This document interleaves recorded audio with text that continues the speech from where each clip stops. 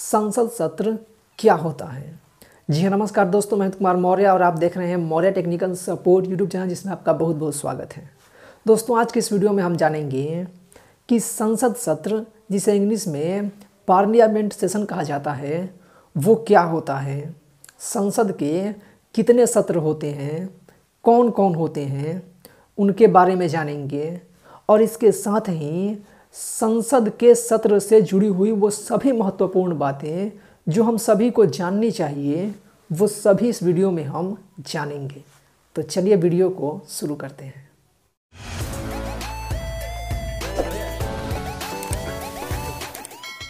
सबसे पहले बात करते हैं कि संसद सत्र होता क्या है। संसद सत्र, जिसे इंग्लिश में पार्लियामेंट सेशन कहा जाता है। तो संसद की बैठकों को संसद सत्र कहा जाता है।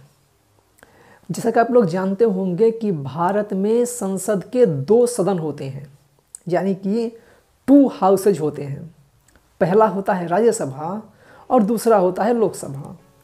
तो जब इनकी बैठकें बुलाई जाती हैं, बैठक होती है, उसमें सभी सांसद बैठते हैं, वो देश के विभिन्न मुद्दों पर चर्चा करते हैं देश के लिए अलग अलग तरह के कानून बनाए जाते हैं। देश में जो घटित हो रहा है, उस पर सवाल जवाब होते हैं, सरकार से प्रश्न पूछा जाता है, या फिर देश के अलग अलग जगहों पर जो परेशानियाँ होती हैं, जो मुद्दे होते हैं, उसे संसद में उठाया जाता है, और सब विषयों पर चर्चा करके अलग अलग तरह की कानून बनाई जाती है। यानी कि जो संसद की बैठकें होती हैं, उसे संसद का सत्र कहा जाता है, या फिर इसे ही संसद सत्र कहा जाता है, और इंग्लिश में पार्लियामेंट सेशन। भारत में सामान्यतः संसद के तीन सत्र होते हैं। पहला होता है बजट सत्र, दूसरा होता है मॉनसून सत्र, और तीसरा होता है शीतकालीन सत्र। तो चलिए बारी बारी से इन तीनों के बारे में जानते हैं। अब बात करते हैं बजट सत्र की। बजट सत्र, जिसे इंग्लिश में बजट सेशन कहा जाता है। तो बजट सत्र का आयोजन फरवरी से मई महीने के बीच में होता है। अधिकांश इसका आयोजन फरवरी महीने में होता है और लगभग ये मई तक चलता है। यह सबसे बड़ा सत्र होता है। संसद के जो तीन सत्र होते हैं, उनमें सबसे बड़ा बजट सत्र होता है। बजट सत्र को बजट सत्र इसलिए कहा जाता है क्योंकि इसी सत्र में भारत देश का बजट पेश किया जाता है। यानी कि पूरे देश का एक तरीके से लेखा जोखा जो कि पैसे का होता है, वित्तीय होता है, उसे सामने रखा जाता है। और देश में क्या लेन देन होगा टैक्सेस किस तरीके से लगेंगी और वित्तीय स्थितियाँ क्या रहेंगी इन पर चर्चाएँ होती हैं। तो बजट सत्र जो होता है, वो सबसे पहला सत्र होता है वर्ष का और यही सबसे बड़ा सत्र भी होता है। अब बात करते हैं मानसून सत्र की, जिसे इंग्लिश में मानसून सेशन कहा जाता है। मानसून सत्र का आयोजन जुलाई से सितंबर महीने के बीच में होता है। जो मानसून सत्र होता है इसमें वैसे विधेयक पारित किए जाते हैं जो कि बजट सत्र में पारित नहीं हो पाते हैं। और मानसून सत्र को मानसून सत्र इसलिए कहा जाता है क्योंकि इसी महीने में या उसी समय पर जो मानसून होता है, उसका भारत में आगमन होता है और भारत के अधिकांश हिस्सों में इस समय वर्षा हो रही होती है। भारत में मानसून होता है, इसीलिए इसे मानसून सत्र कहा जाता है। कहीं कहीं पर इसे वर्षा वाला सत्र भी लोग कहते हैं।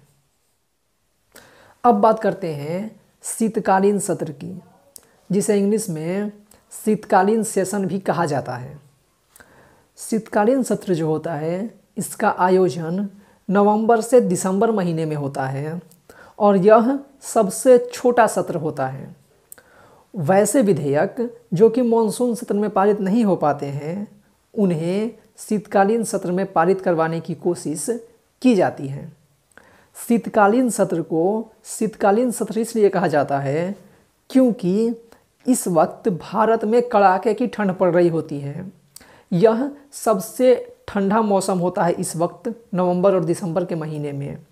तो इसलिए इसे शीतकालीन सत्र कहा जाता है। अब बात करते हैं संसद सत्र से जुड़ी हुई कुछ महत्वपूर्ण बातों की। तो संसद के एक सत्र की अंतिम तारीख और संसद के आगामी सत्र की प्रथम तारीख के बीच में छः महीने से अधिक की अवधि नहीं होनी चाहिए।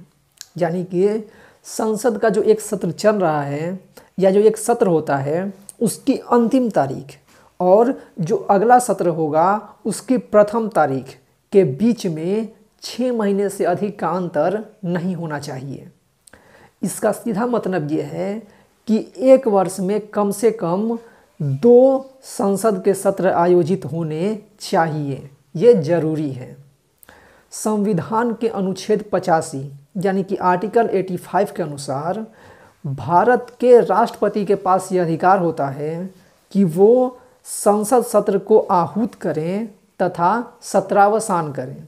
यानी कि संविधान के अनुच्छेद पचासी के अनुसार राष्ट्रपति संसद के सत्र को आहूत करते हैं तथा उसका सत्रावसान करते हैं। अब बात करते हैं कि सत्र आहूत करने का मतलब क्या होता है। तो सत्र आहूत करने का मतलब होता है संसद की बैठकों को बुलाना। यानी कि जो संसद के सत्र होते हैं, उसे शुरू करने का आदेश देना। ठीक है? तो जो राष्ट्रपति होते हैं वहीं संसद सत्र को बुलाते हैं, उन्हीं के आदेश पर संसद का सत्र शुरू होता है। दूसरा है सत्रावसान, यानी कि संसद के सत्र की समाप्ति। तो संसद के सत्र की समाप्ति के जो आदेश होते हैं, वो भी राष्ट्रपति के पास ये अधिकार है कि वही आदेश देते हैं। यानी कि संसद के सत्र की जो शुरुआत होता है, वो राष्ट्रपति का आदेश से ही होता है। और जो सत्रावसान होता है, यानी समाप्ति होती है, वो भी राष्ट्रपति के आदेश से ही होता है। तो अगर हम इन सभी चीज़ों को बहुत ही छोटे से शब्दों में समझें तो संसद की बैठकों को संसद सत्र कहा जाता है। संसद के तीन सत्र होते हैं, बजट सत्र, मॉनसून सत्र और शीतकालीन सत्र। संसद के एक सत्र की अंतिम तारीख और आगामी सत्र की प्रथम तारीख के बीच में छः महीने से अधिक की अवधि नहीं होनी चाहिए। यानी कि वर्ष में कम से कम दो संसद के सत्र आयोजित होने ही चाहिए।